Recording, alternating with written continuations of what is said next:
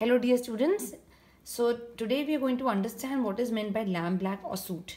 Class 8 students study this in chemistry.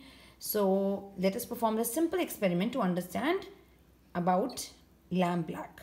So all you need is two earthen lamps or oil lamps as you can see in front of you. If you don't have an earthen lamp, you can use a clay or steel, ordinary steel oil lamp which you use while doing puja at home.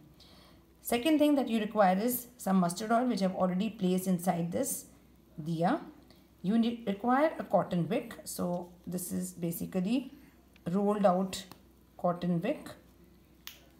जिसे हम we call it as batti also at home ordinary commonly called as batti and you require a matchbox.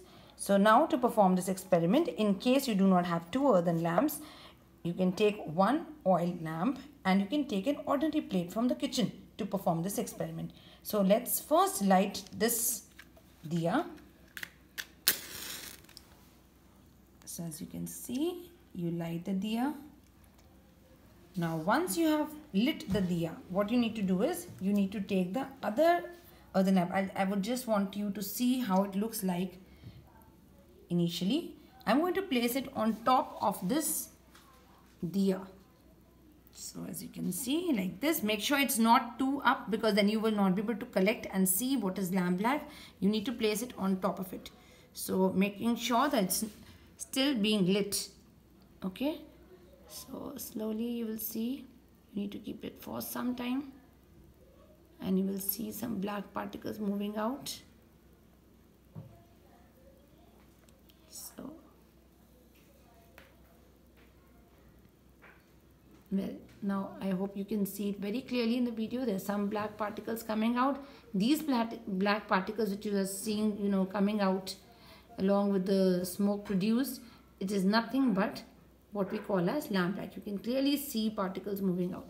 So let's see. Now see. I think you can see it very clearly. It was not so dark earlier. Now you can always pause the video and just try to see it how it looked like earlier. See. So if you can very clearly see this black substance which is collected here is nothing but lamp black.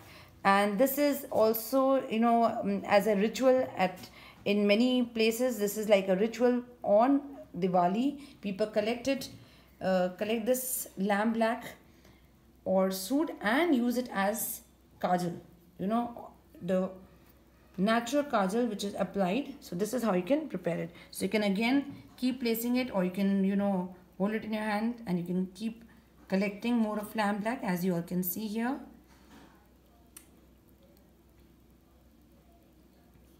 So this is children what we call as lamp black or soot. It is commonly used for uh, as natural kajal or used for making printing ink and even for making shoe